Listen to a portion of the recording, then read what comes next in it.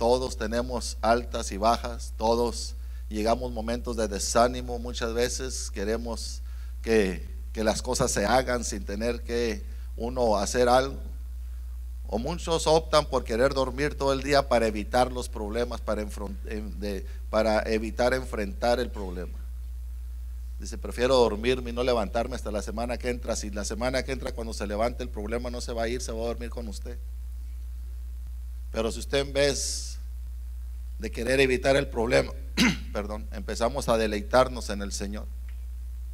Empezamos a confiar en aquel que nos llamó empezamos a saber que nosotros sí somos hombres y mujeres con propósito, que no estamos en el mundo por casualidad. Si el mundo le dijo que usted era un error, está equivocado, porque Dios no escogió errores ni pedazos, Él nos hizo y nos hizo a su imagen y semejanza, y somos hijos de Él. Y haremos cosas mayores que la que Él hizo, porque es el don de Él que está en nosotros. Lo que opera en usted es el poder de Dios quien lo hace que se mueva, quien lo hace que, grite, quien lo hace que, que, se, que sea diestro donde esté, es la misericordia del Señor. Lo que hace que usted sea el número uno y sea el mejor en su empresa es porque el favor de Dios vive en nosotros. Y muchos no lo creemos, muchos nos ofrecen oportunidades y, y las rechazamos porque nos sentimos inferiores.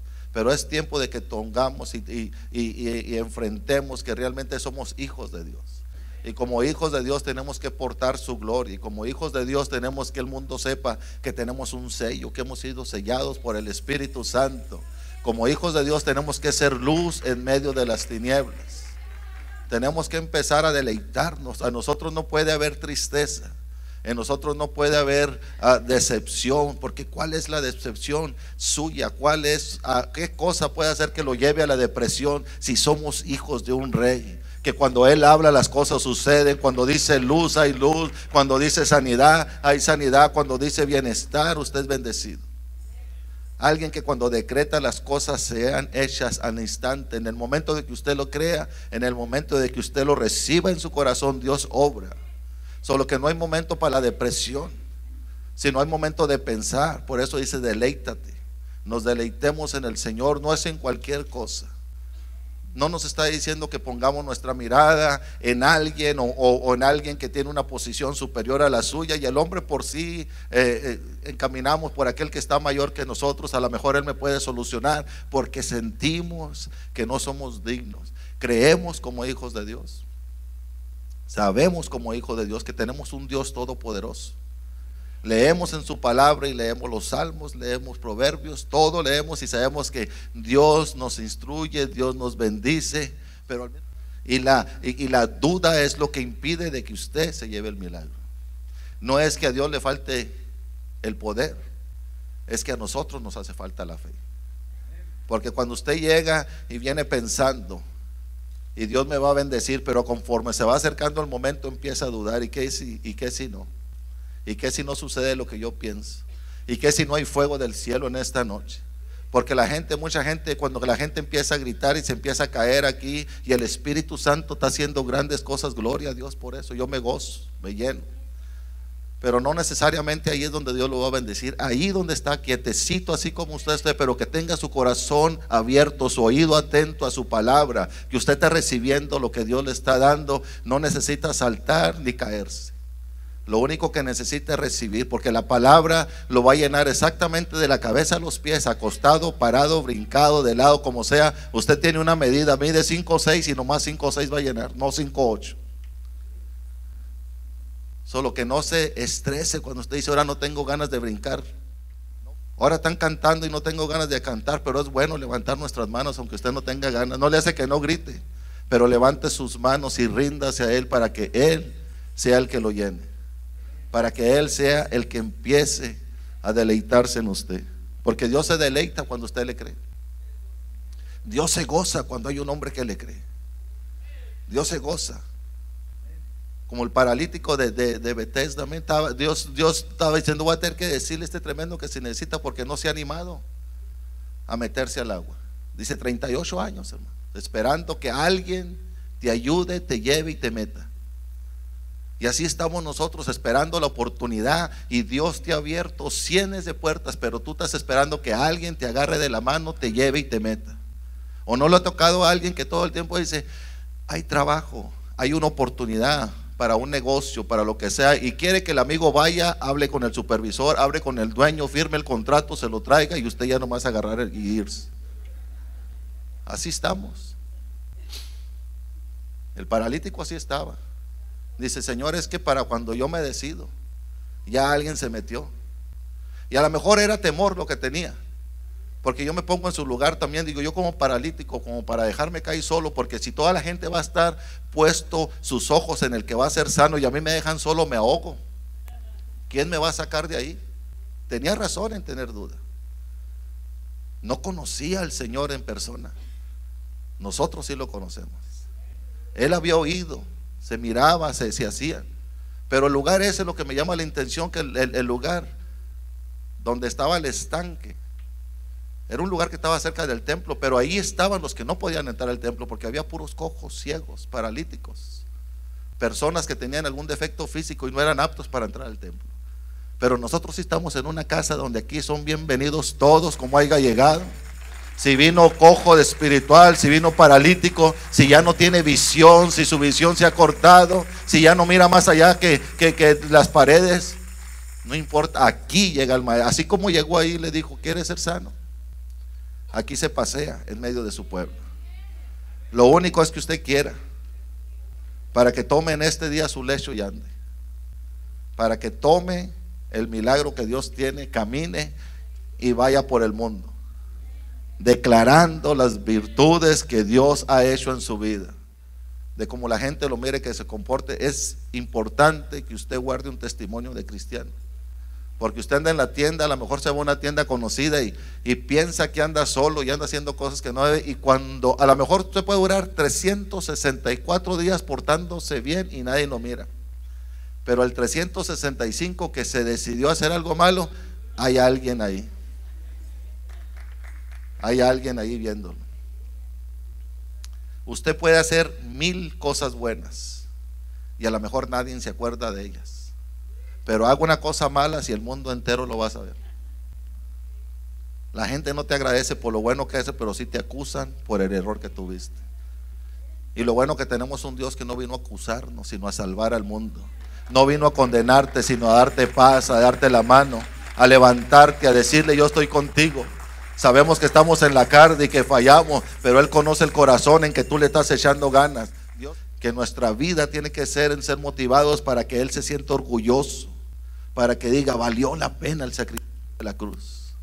Valió la pena por el gozo que causó, por lo que ellos sienten, de que cuando fallan, que sienten que la regaron y se sienten miserables dentro de ellos mismos o se sienten menos. No, no, no, no sé cuál será el sentimiento, cómo será la palabra correcta pero dice, wow, valoran realmente el sacrificio de la cruz.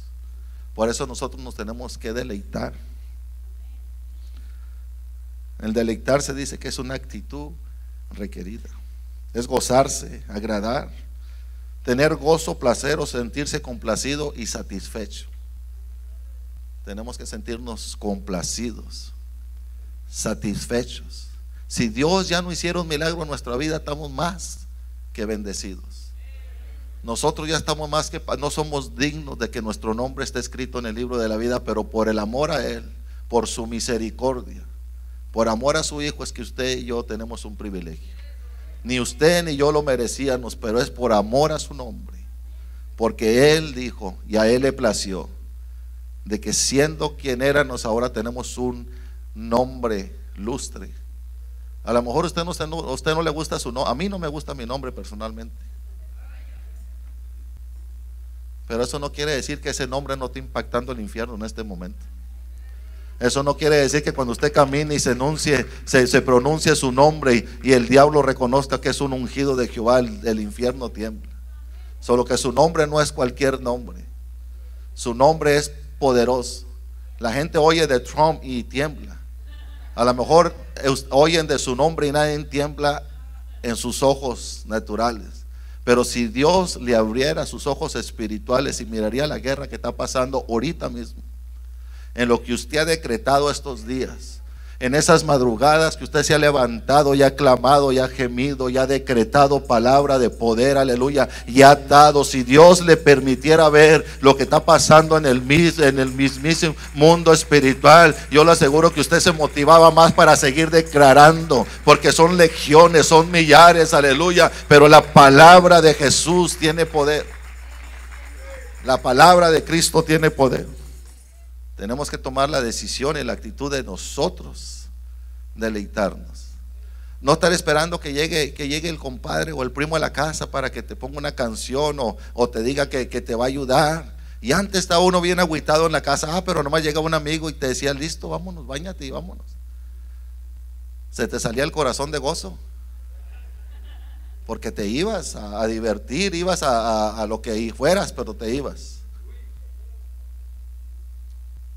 a esa misma decisión tenemos que yo voy a la iglesia, pero voy a deleitarme. Yo no voy a perder el tiempo, a tomarme el tiempo de bañarme, de, de, cambiarme, de, maquillarme, de hacer todo, para ir a sentarme a un lugar nomás. Si voy a presenciar la presencia del Santo, de Todopoderoso, yo no voy a cualquier lugar, yo no voy a una esquina, yo no voy a un lugar donde voy a ser desapercibido, donde la gente ni me conoce. Voy a un lugar donde soy apreciado, voy a un lugar, aleluya, donde mi Padre me ama. Voy a un lugar donde Él me atiende personalmente. Solo que yo tengo que gozarme porque yo no paso desapercibido. Yo sé que Él conoce mis preocupaciones. Yo, eh, yo sé que esta mañana Estuve hablando con Él y Él conmigo. No estoy hablando al viento, aleluya. Yo sé que Él se complace cuando yo le lloro, cuando yo le clamo. Porque Él sabe que yo creo en todo mi corazón de que algo va a pasar. De que pronto algo nuevo tiene que suceder. Que la oración que hacemos los justos no es en vano, sino que Dios tiene cuidado de mí. Así mismo es tener una acción es necesaria una decisión de voluntad. Es necesario de que usted tenga voluntad de que esta noche decida gozarse. Yo le aseguro, hermano, que si ahorita sale con la misma cara que entramos o peor, el problema es el mismo lo que va a hacer que se ayunte, que, que, que, se vayan los problemas y las dificultades, es una actitud de un guerrero, es una actitud de saber que somos hijos de Dios, es la actitud de saber que nada tiene poder sobre usted, es una actitud de que la gente puede decir lo que diga, puede decirle misa, no importa, la actitud es de que yo soy hijo, yo tengo que gozarme, me tengo que deleitar en el Señor, aunque en esta noche no encuentre milagros, aunque en esta noche vaya con el mismo dolor, pero yo sé que mi redentor vive. Yo sé que mi redentor vive y aún del polvo nos levantará. Si no es hoy es porque Dios sigue tratando conmigo, pero voy a portarme bien, voy a seguir orando, voy a seguir en ayuno, voy a buscar su rostro de madrugada porque si no es hoy, yo tengo, yo tengo confianza en él de que si no es hoy será mañana, pero yo sé que mi, mi voluntad, la voluntad del Señor se hace en mi vida, de que mi milagro viene, de que miraré la gloria de Dios en la tierra de los vivientes la miraremos de que la prosperidad de que Dios ha hablado nos alcanzará, que esas bendiciones, por más que te escondas donde quiera que ande, a lo mejor tú ya perdiste la esperanza de un día ser bendecido, no importa, yo vengo a recordarte en esta noche que al Dios que nosotros servimos no se le olvida, Él prometió bendecirte y te anda buscando, gloria a Dios, a lo mejor las cosas que andas haciendo no son muy, muy de su agrado, pero Él sigue esperando a que tú te alinees, aleluya, sigue esperando de que ese alambre eléctrico haya contado con la tierra para que haya, a lo mejor tú no te has conectado, pero en esta noche quiero decirte que tus sueños no se han muerto, están parados porque tú los has hecho un lado, pero retómalo, anímate otra vez, aleluya, toma la decisión de deleitarte en el Señor. No te congojes ni te pongas problema por los, por los impíos, por lo que progresan, por los que van allá y, tú te olvidas del Señor por estar, como ese hijo del diablo ahora tiene casa nueva. Y yo no puedo salir del apartamento. Pero dice el Salmo que así como la hierba se seca y cuando menos piensa está. Yo conocí multitud de personas que andaban en trocas del año. Yo tengo familia que la mayoría ahorita está ya en el rancho porque aquí se quisieron dar una vida de locos y de ricos y ahorita ya no tiene nada. Antes te miraban para abajo y ahora te miran para arriba. Y no porque tú seas grande, sino porque han visto la fidelidad de Dios en tu vida. Aleluya. Ahora sí te dicen, quisiera tener lo que tú tienes. Porque antes llegaban y, no te saludaban porque pasaban por puras trocas del año y, traían de todo ahí arriba y se paseaban y, toda la gente los conocía. Entraban a las cantinas y las cerraban y eran los, casi toda la gente le quería besar las manos como a los curas. Y ahora que necesitan no hay quien les dé la mano. Ahora andan haciendo hoyos para poder sobrevivir. Así son, no te congojes. Que tu mente no, no, se desvíe de adorar al Señor por lo que otros están progresando. Tú gózate con lo que Dios te ha dado, porque Dios te ha dado lo necesario para que seas feliz. Lo que necesitamos ser buenos administradores de lo que Dios ha puesto en nuestras manos. El Salmo 73 dice, por poco y mis pies resbalan por causa de aquellos de los que hacían grandes cosas por todos los impíos. Es atractivo. Si te trae, de repente tú te, visualizas en, las casas que salen ahí, que tienen como 100 recámaras y te visualizan y dicen, no tener que trabajar yo, hablar todo y, y mandar todo desde aquí, te visualizas y como que te atrae. Pero nada se compara con lo que Dios te puede dar. A lo mejor podrás estar ahí, pero tu casa, tu corazón, tu mente va a estar vacía, buscando algo que al último lo que ibas a hallar es una soga para colgarte de lo más alto.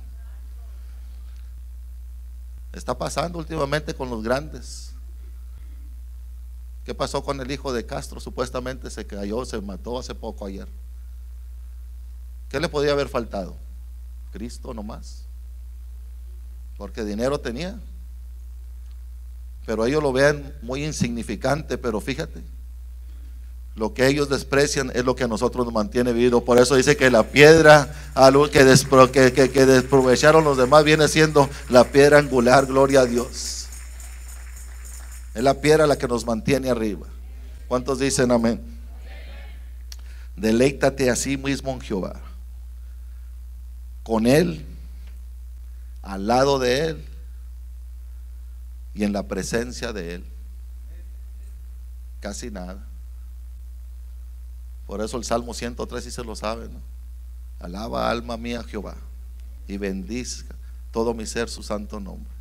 Porque Él es el que hace todo, el que te saca de tus problemas, de tus necesidades, el que sacia de bien tu. Él es todo, léelo. Si no tienes conciencia de quién está sirviendo, lee el Salmo 103. Y te, te vas a dar cuenta que es bueno deleitarse en Jehová. Que es bueno y necesario honrarle cuando vengamos a servirle, hacerle culto, sacrificio al Rey de Reyes y Señor de Señores. Que tu corazón fluya, que tu corazón se conjuga en su presencia, que realmente no le hace que no te salgan las palabras, pero Dios pesa el poder que hay en tu corazón, en tu oración, no le hace que tu garganta se te haga nudo, pero Dios está oyendo lo que tu corazón está gimiendo, lo que tu corazón está clamando, lo que de tu corazón estás deseando. Y si tú necesitas el bien y deseas el bien y el favor y la misericordia de Dios, le hemos encontrado estamos en Él. Y si somos templo de su Espíritu es de que todo lo divino está en nosotros. Wow. Wow. Ayer me dieron una palabra que me impactó. Dice el Señor, yo tengo lo que tú quieres, pero necesitas venir a buscarlo. No sé si ustedes entendieron eso. Él tiene todo lo necesario, pero está en nosotros en que lo queramos, que tengamos que venir a buscarlo, agarrarlo, a decirlo, yo me lo llevo en esta noche.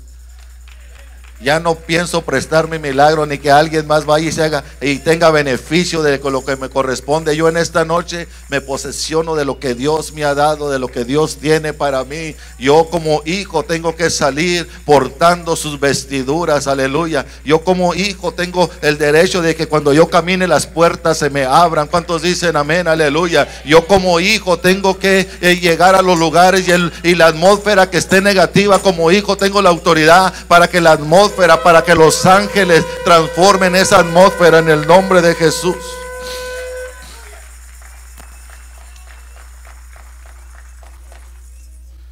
Haga del Señor el objeto de su delicia. No se deleite en el soccer nomás. No se deleite sacándole uh, wax al carro. Porque muchos se van y le toman foto y vienen y allá se le ve una manchita y se regresan y y vente a comer. No, ahorita espérame, ya mero acabo. Y luego se va y lo ve de otro ángulo y el sol le pega diferente y piensa que no está limpio y ahí está deleitándose para que brille. Y dura 10 horas brillándolo. Y luego lo toma, va a la tienda, compra una, una, soda o cualquier cosa, pasa a alguien y, trae un liquidero de aceite y viene y se lo mancha todo de aceite. Al último ni con el wax se le quita. Pero cuando se deleita en el Jehová, cuando su, deleite está en meterse en, en el cuarto, en la intimidad. Wow. Qué triste sería como los casados. Que haya pasión, que haya ese amor, que haya ese de nuevo de querer uno llegar hasta temprano del trabajo para estar con tu amada, con tu amado. Así es con Dios. De repente llegas al momento donde vives en la misma casa, y duermes en la misma cama, pero no más. Llegas en el momento donde puedes cerrar tu habitación con llave, pero no tener intimidad. Wow. Así es su presencia, tienes que amarla. Mucho te metes de, rodillas, pero te metes y tu, tu mente está en todo menos en Él te hincas y te pones a orar y piensas de todo, cómo le vas a hacer, cómo vas a pagar. Y el que soluciona los problemas te está escuchando y dice, aquí estoy yo. Se te ha olvidado mencionar mi nombre.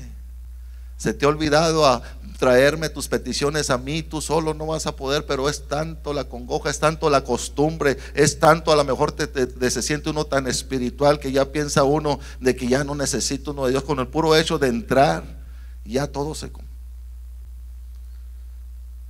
ya no hay esa intimidad de Dios. Haga lo mismo con su esposa, verá que lo divorcian. O no le des el trato que se merece, a ver si no te reclama. Y así mismo Dios te está preguntando qué pasó, en qué fallé, en qué momento te descuidaste, porque Él nunca se ha descuidado de ti. Porque si estamos hasta el día de hoy caminando es porque Él sigue teniendo misericordia de nosotros. Él te sigue amando igual que el primer día. Él te sigue amando igual que cuando subió a la cruz del Calvario. Cuando te miró con esos ojitos que decías, necesito ayuda, necesito soltar la droga, necesito quitarme de este adulterio, ya no puedo vivir doble vida, ya no quiero estar en el alcohol, ya no quiero andar bajo los puentes. Él con esa, esa mirada de, cansancio, esa mirada de, de necesidad, cuando Dios fijó tu mirada en ti, así como los puso sobre Pedro cuando lo negó. Y tuvo misericordia. Dios no ha menguado no le voy a decir el resto porque usted debe saber si sí ha menguado o está haciendo lo mejor de usted. Porque muchos momentos, hay momentos en que uno no oye la voz de Dios y no es porque usted haya dejado de amarlo. Simplemente que es un momento que le están sacando filo. Pero otros reconocemos que nosotros realmente nuestro interés ya no es el creador de todo. Nuestra prioridad ya no es sentir sus caricias. ¿Cuánto tenemos que no lloramos en su presencia? Antes nos postrábamos y sentías que todas las rodillas y todo te temblaba. Empezabas a hablar y, ahí estabas solo y te empezaba a temblar el labio. Y tenías que callarte y poner adoración y llorar con él. Y no porque necesitaras tanto, simplemente llorabas con él. Ahora, aunque tenganos la, en el pie, en el pescuezo, no nos saca ni una lágrima ni agarrotazos. Y nos preguntamos, que por qué ya no nos podemos deleitar en el Señor.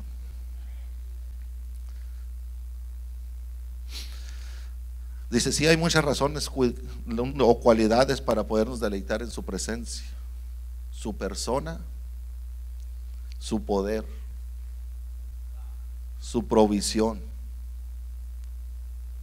su paciencia, su paz, su perfección su permanencia, sus propósitos, sus promesas, sus principios, su protección y su pureza. Wow. Y así eso no nos hace que nos deleitemos en el Señor. Si en todas esas cualidades no está lo que tú necesitas, necesitas venir a decirme para inventarnos una palabra diferente.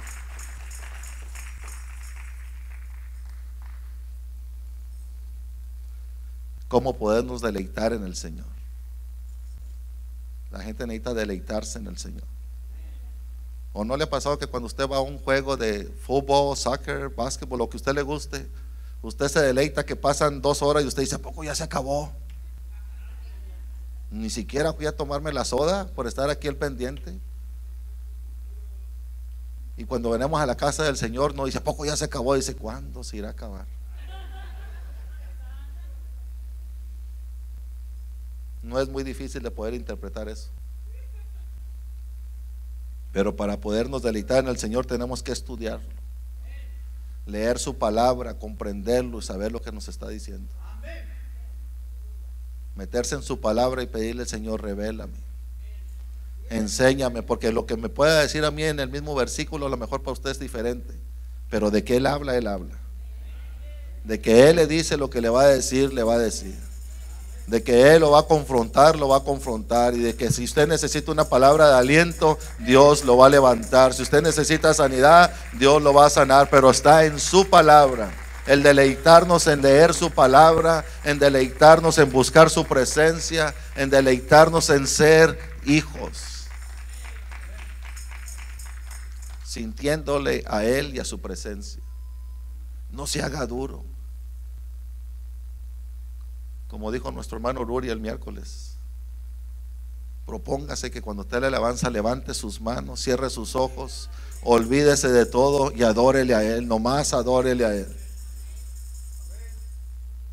Eso lo tenemos que poner por práctica. Porque parece que cargamos dos pedazos de plomo en cada mano cuando llegamos aquí se nos hace difícil. A usted no, a mí sí.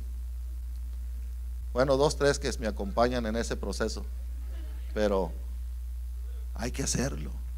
Deleitarse en él, su presencia. Buscar su rostro. Buscarlo a Él. No busque el beneficio, búsquelo a Él. A lo mejor la troca que está pidiendo, hermano, es para llevarlo al pecado, para llevarlo fuera de sus atrios, para llevarlo fuera de, de, su propósito, para llevarlo fuera de Él. No es de que no te quiera, no te lo ha dado porque no estás capacitado para tenerla. Él te prefiere aquí, no le hace que venga uno de ride en bicicleta, pero aquí.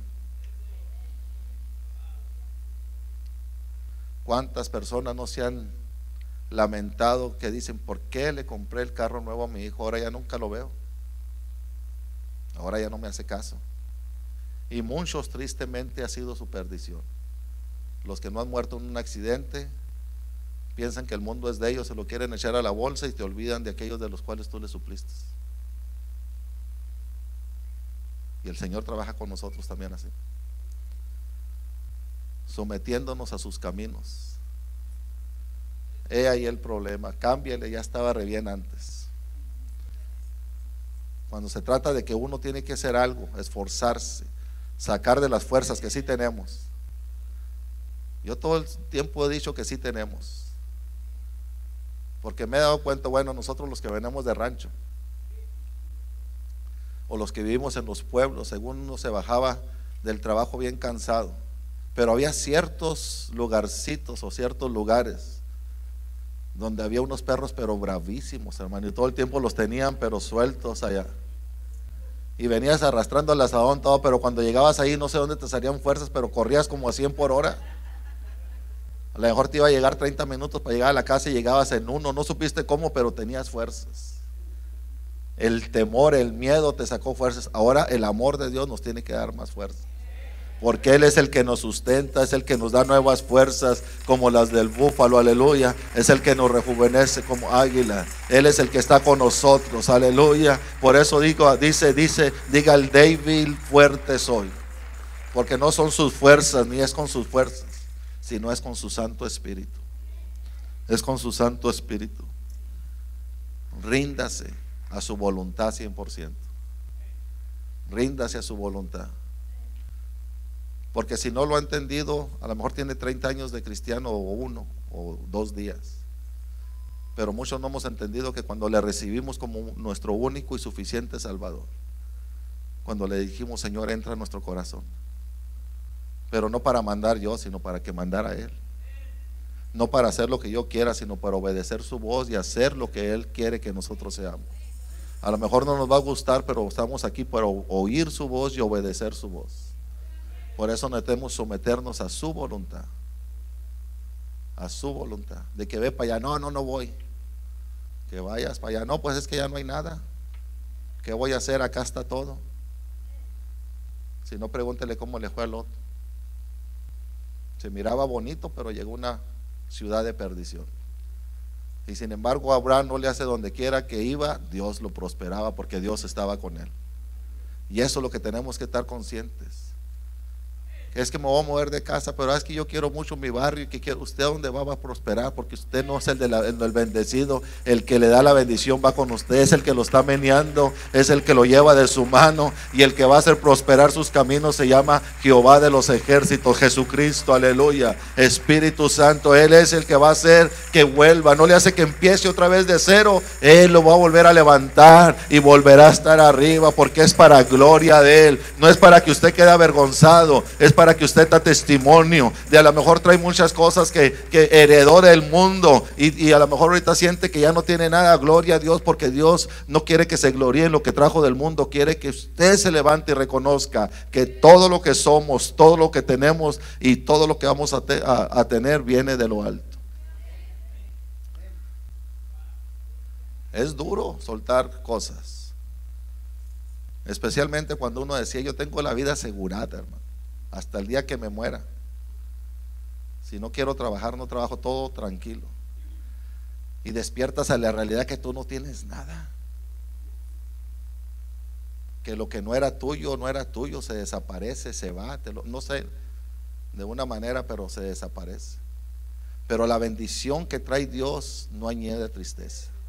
Lo que Dios te esté dando poco a poco, tú lo estás disfrutando y te estás dando cuenta que con lo poquito vives mejor que con lo mucho que tenías antes. Que con lo mucho que tenías antes no tenías la paz, no tenías un hogar, no tenías tranquilidad. Ahora a lo mejor lo único que tienes son frijoles, pero para ti es un caviar porque lo comes con tu esposa, con tus hijos, lo disfrutas, aleluya. Ahora se ha hecho un volado, ¿a quién le van a tocar más? ¿A quién le van a tocar poquito? Para poder disfrutar de eso no necesitas ir a un restaurante elegante en tu casa. ¿Sabe que yo me gozo muchas veces que uno va a las tiendas y, de repente ve uno de su gente? Y hay veces que llega uno y compra bastante para comer y luego llegan unos con su lonche. Usan el microwave de ahí, de, la tienda y calientan su lonche. Y uno sale comiendo y dice, wow, ¿cómo no?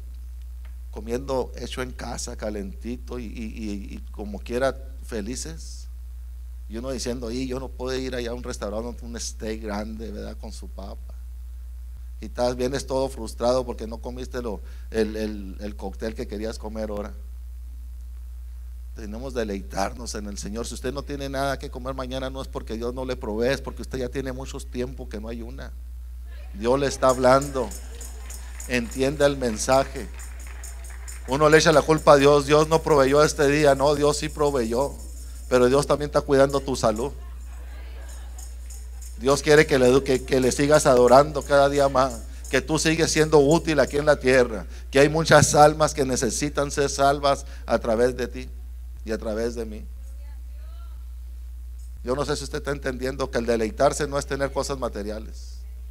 El deleitarse en el Señor es estar aquí todos reunidos, sabiendo que si usted está pasando por una necesidad, créalo, que a lo mejor no todos, porque eso es cierto, a lo mejor no todos pero sí hay hombres y mujeres consagradas que sí están orando por su petición. Y lo que sí tiene que tener bien seguro que nuestros pastores sí están orando por cada uno de nosotros. Y la palabra de Dios no dice que necesita mil. Dice que si dos se ponen de acuerdo, que todo lo que pidiéramos en oración Él lo hará. Solo que usted la tiene hecha. Su victoria está asegurada Su cheque ya está en el correo. Esas escrituras ya fueron firmadas. Ese caso ya fue cancelado. Esos papeles ya están hechos, nomás que no ha llegado porque la máquina estaba quebrada, pero ya se arregló hoy.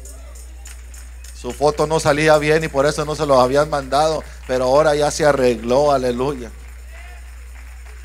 Esos récords que, que no le permitían dar otro paso más, Dios los acaba de borrar. Así hoy, ahorita. Apúntenlo si tiene ese problema.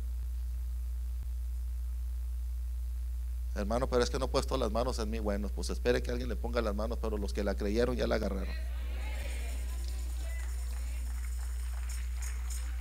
No, hermano, es que yo necesito que venga sin decir nombres para poder yo creer. Bueno, pues ahí siga esperando. Si, si Dios le concede que llegue aquí un día, va a recibir su milagro. Pero el que cree que Dios es el que habla aquí, tómela, que es suya.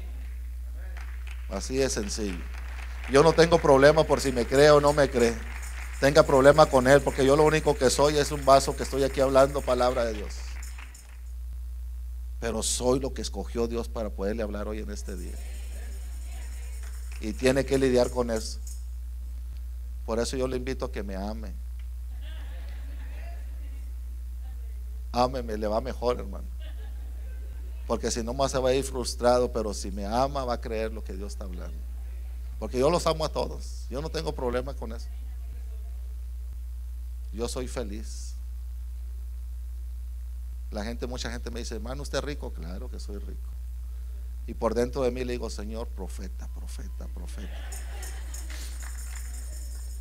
Porque cuando tú no vienes de donde no tenías nada, cuando tú vienes de algo donde todo deseabas, donde te servían lo que te servían y lavabas el plato porque sabías que mañana, we don't know. Y ahora que tienes la dicha de tener tu propia casa, manejar un carro, tener tu esposa, tus hijos, tener un trabajo, pues yo no sé qué es lo que significa ser rico para usted. Tengo todo lo que Dios me ha dado. Tengo salud, tengo unción, tengo poder. Estoy bajo su misericordia, bajo su verdad, vivo bajo sus estatutos. Yo no sé si usted la riqueza la interpreta de otra manera, pero yo soy rico, más que rico. Y el mismo que sirvo yo, sirve usted. Y si no, en esta noche pase para orar por usted.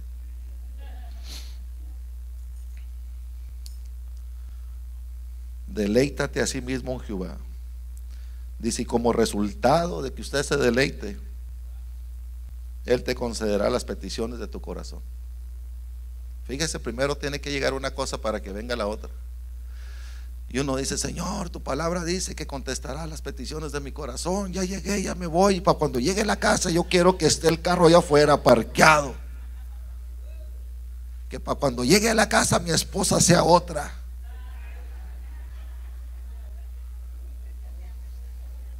Aleluya. Y así lo mismo dicen las mujeres de los hombres. Pero no de otra persona, otra manera de ser, hermano cámbiala, tócala. Cada quien se acomoda como quiere.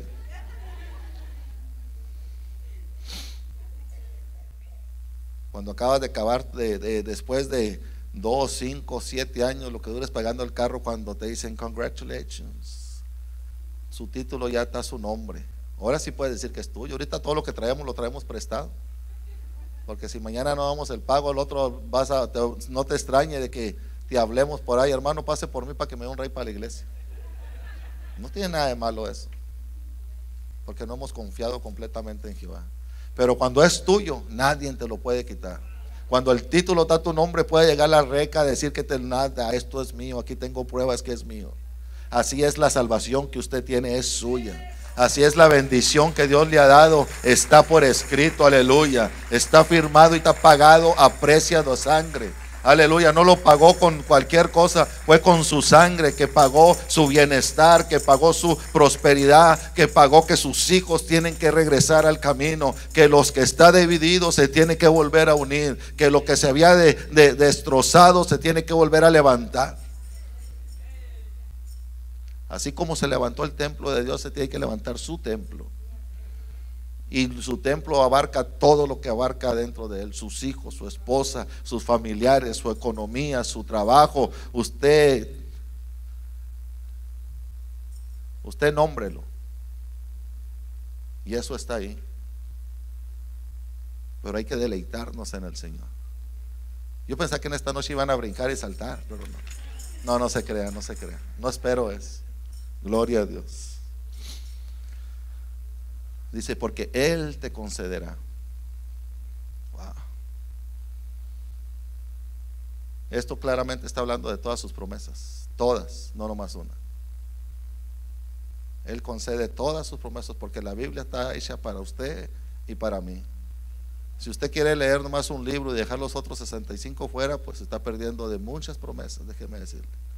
Así como muchos regaños, muchas correcciones, pero todo para bien suyo y para bien mío. Solo que todas sus promesas, incluso por medio de otros, seremos bendecidos.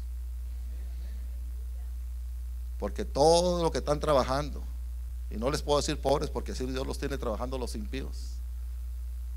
No se extrañe que un, un día de estos todas esas propiedades pasen a su nombre porque usted tiene el favor y la gracia de Dios. Y a lo mejor está por ahí alguien que Dios dice, te quedan cuatro días. Y dice, wow, he hecho tanto que ya el doctor dijo que me iba a morir y no tengo a quién dejárselo.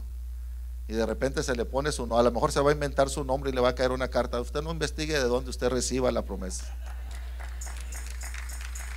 Recíbala.